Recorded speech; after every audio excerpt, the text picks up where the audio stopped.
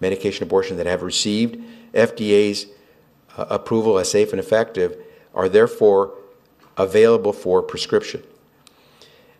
I, what I won't do in answering your question is tell you what precisely that means because I want to, as I said before, we're going to stay within the confines of the law.